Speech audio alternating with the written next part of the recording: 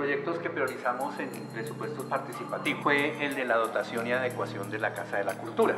Lo presentamos en presupuestos participativos como adecuación y dotación de infraestructura cultural. Va a quedar una galería donde los artistas pueden realizar eh, sus exposiciones. Vamos a tener un salón de música. La Casa de la Cultura se piensa que debe quedar dotada con instrumentos musicales, equipos de sonido para que puedan hacer grabaciones, vestuario, lockers donde los artistas puedan dejar sus elementos y caballetes de artes plásticas para que todos los artistas tengan un lugar donde realizar sus prácticas, realizar sus talleres, realizar sus presentaciones.